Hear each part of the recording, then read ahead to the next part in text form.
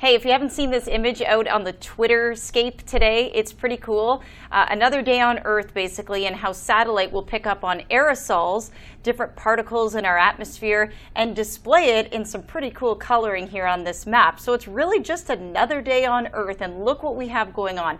Wildfire smoke out in BC, Saharan dust layer um, in Africa. We've got some agricultural burning coming up on this satellite down in Africa, in southern Africa. We've got two twin typhoons and, of course, Hurricane Lane. So much going on.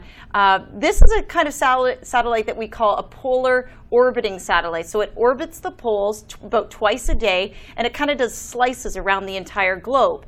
But there's other kinds of satellites that we use every day too, like this one, which is a geostationary satellite, which is set very far away from Earth. And this is a visible satellite. We use those to track our weather systems, and we can see convection or bubbling cumulus on a severe weather day. We also use it for typhoons. Take a look at the visible satellite of the two typhoons uh, that we saw in Asia. And then we also um, use current visibility to talk about smoke and uh, sense smoke on on the Earth at any given time. And of course, we know the visibility is very poor still out west.